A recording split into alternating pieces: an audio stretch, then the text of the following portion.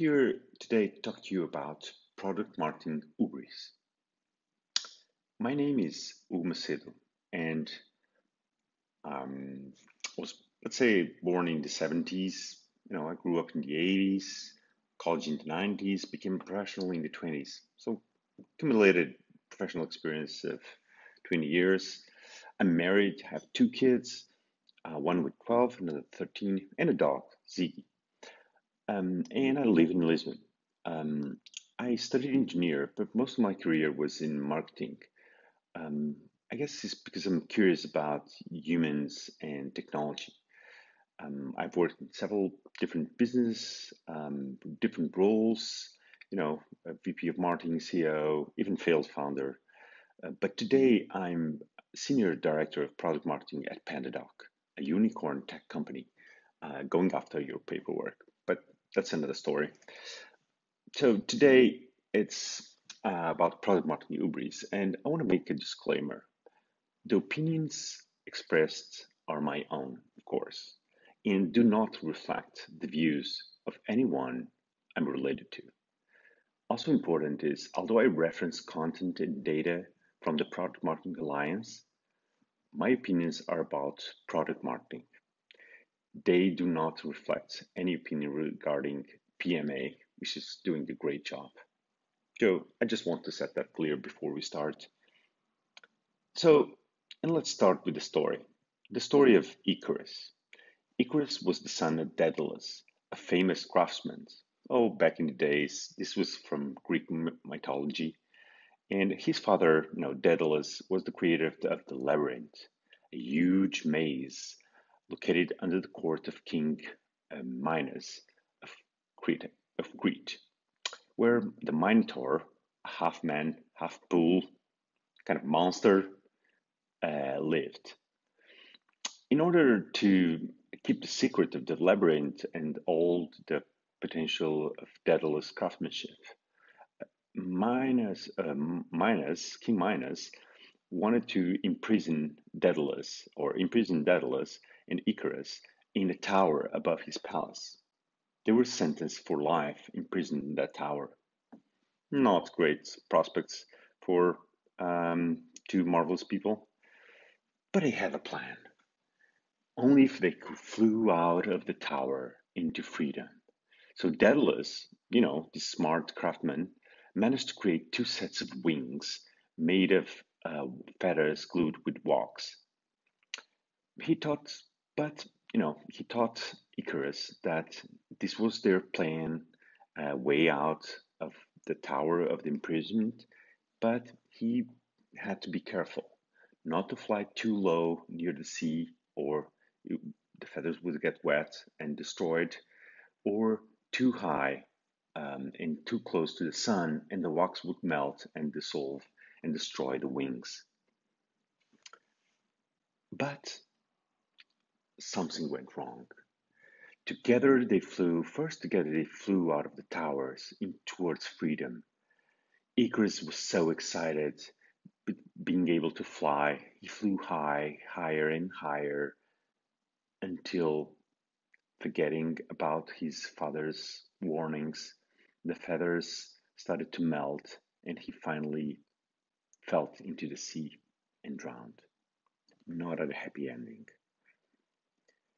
Icarus is the story that tells about youthful Hubris, this excessive self confidence and ambition that drive the careless Icarus to a fatal end. And you wonder what's the relationship with between Icarus and product marketing? Well, I started to think that product marketing has some relation with Icarus.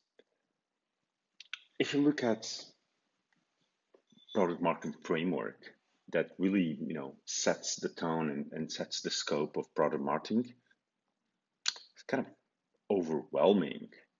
You know, we take care and we work on on everything from go to market pricing sales collateral analysis business case segmentation storytelling retention and expansion acquisition everything I wonder if there's some hubris here, some over confidence that we can do all of this.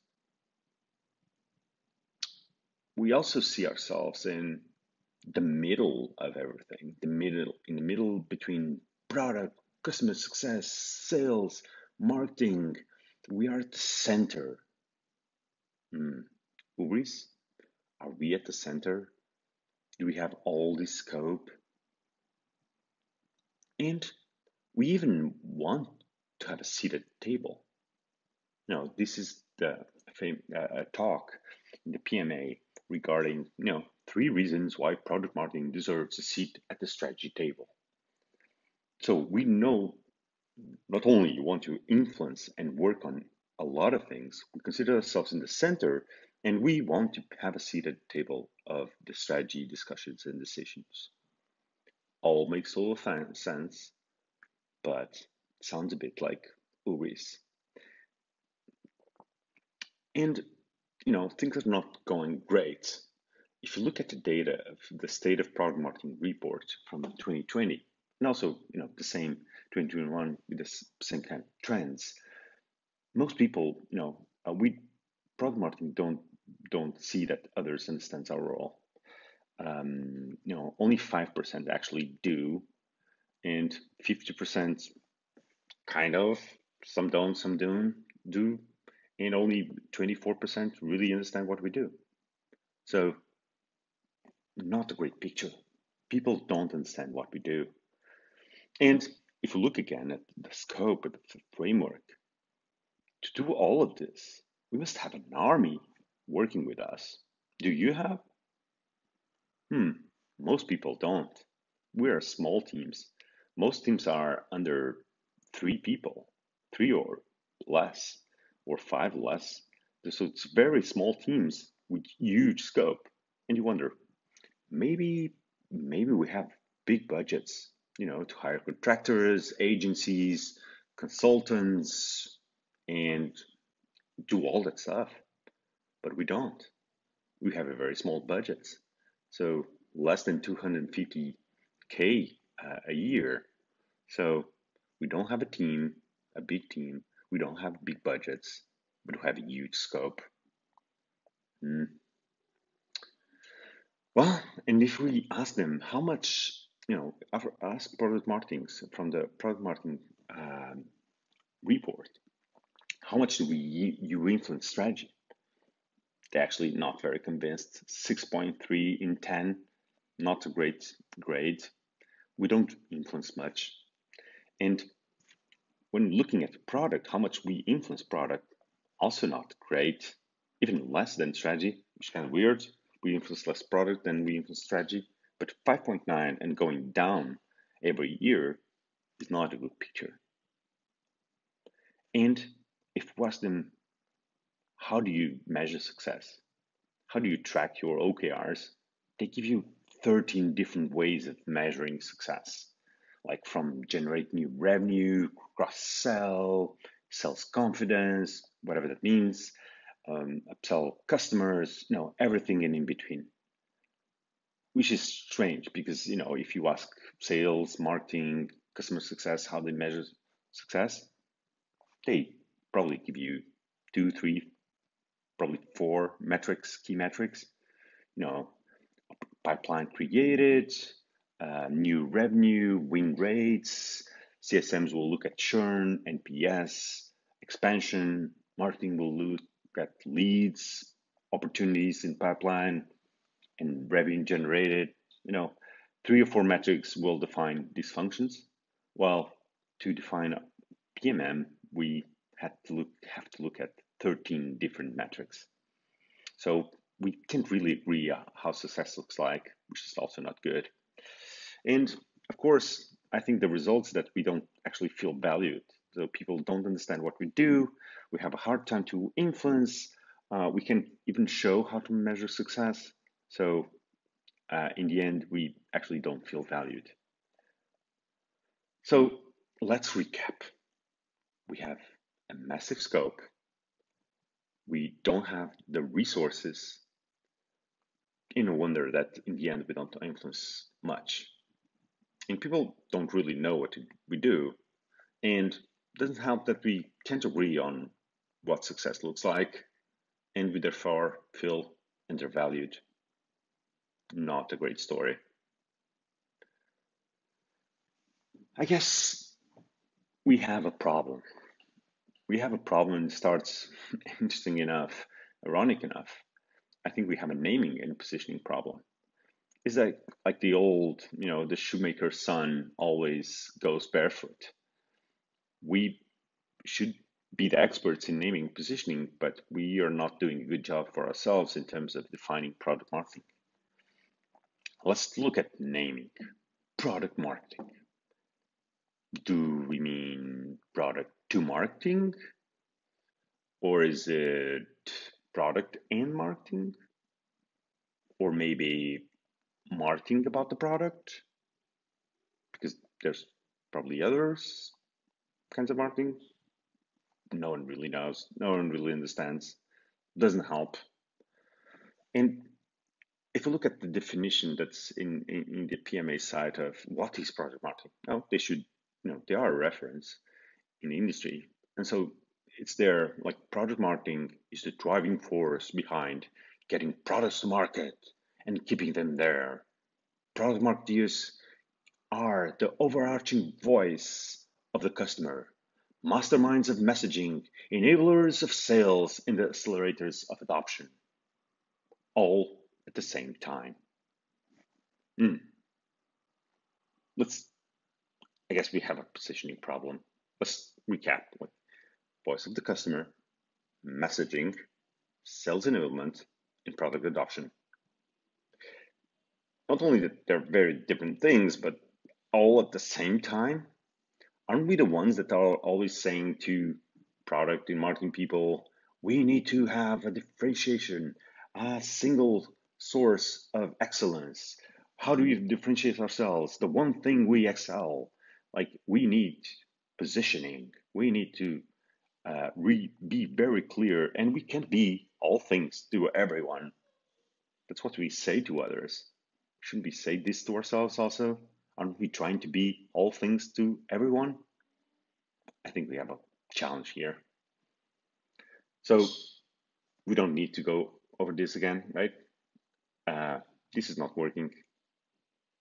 So can we just agree there's if there's one thing I would like to get from uh, this talk is that we agree that we have a problem and we need to work on it because we don't want to be the Icarus, fly higher and higher, our ambitions go higher and higher, and in the end, things don't go well. So let's just agree we have a problem. Now I'm going to tell you, you know, a way forward. It's not a solution. There's no one silver bullet. Uh, but I'd like to suggest a way forward that could improve things. So, what now? So, I always like to revert to this uh, famous quote from Al Ries and Jack Trout from the, the book Positioning, uh, you know, famous in the reference. They said, Don't try harder, try different. So, how can we try different. I would suggest we divide and conquer. This is just too big. Product marketing scope is just too big. We need to divide this. So let's start by dividing by two. And I suggest we divide PMM into MTP and GTM. Oh, not very clear, I know. Uh, but let's talk about each one at a time. So MTP, I mean market to product. Uh, I'm still not convinced about the name. Maybe strategic product marketing. No, we'll we'll we'll, we'll probably need to uh, go back to this later. But um, this area is about re- reports the product and aligns with product goals. This area influences product strategy and brings the customer market intelligence to the both the product organization into the uh, the whole company. They are the masters of customer and market understanding. And they focus on also on positioning and messaging, oh, we know well, and they have mid long term focus, not short term. Because you know, how do you influence the, the product strategy, product roadmap? It's uh, it's not something we do, you know, this quarter even next quarter is probably something you're influencing for next year roadmap. Go to market, you know, it's probably you know most of this. You know, reports to marketing, it's does launch orchestration, drives GTM strategy and plans, support channels, um, and align with marketing goals. So mostly generate pipeline and revenue. And they are more short-term focused. They need to commit and help the revenue organizations to achieve their quarterly goals. So you see, there are two different realities. MTP is about reporting to reports to product, GTM reports to marketing. One influences product strategy, the other influences marketing strategy. One is customer marketing intelligence, the other is channel intelligence. Know the channels, what works.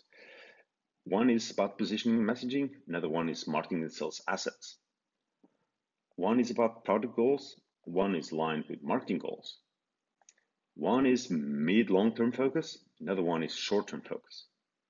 One is has a strategic mindset, another one has a delivery and results mindset. They're just two different jobs, two different mindsets. They're different skills. They require different people. So that's what I suggest. You know, the whole story goes no one really understands what we do and how what we impact. We try to do too many things and influence too many metrics. We have a positioning problem. First, we need to accept that we have this problem. So we can try different solutions. One is that I'm suggesting here is to divide product marketing into two. One aligned with product, another aligned with marketing. And you know, like we saw, they have different scopes, mindsets, metrics, and require two different kinds of people. I don't know about you. We're trying this at PandaDoc, and it's going great. Of course, we have a long uh, way forward, but I really believe this is uh, can be a solution to the problem we discussed. Maybe you want to try it. Maybe we can compare notes. Thank you very much. I'm looking forward to hear about how you're driving product marketing effectiveness across your organization. And don't be Icarus, be ambitious, but uh, make sure you drive the right impact.